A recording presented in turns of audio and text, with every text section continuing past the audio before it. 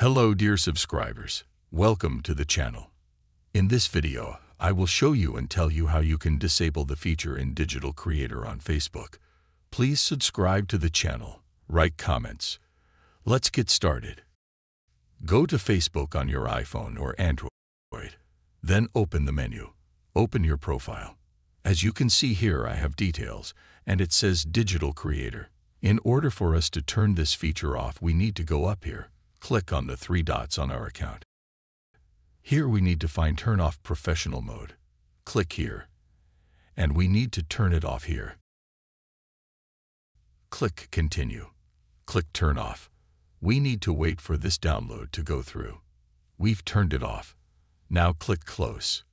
Refresh the page, and as you can see, I've lost the Digital Creator feature on Facebook. And we were able to turn it off in one minute. If you like this video, subscribe to the channel. Like it. Bye-bye.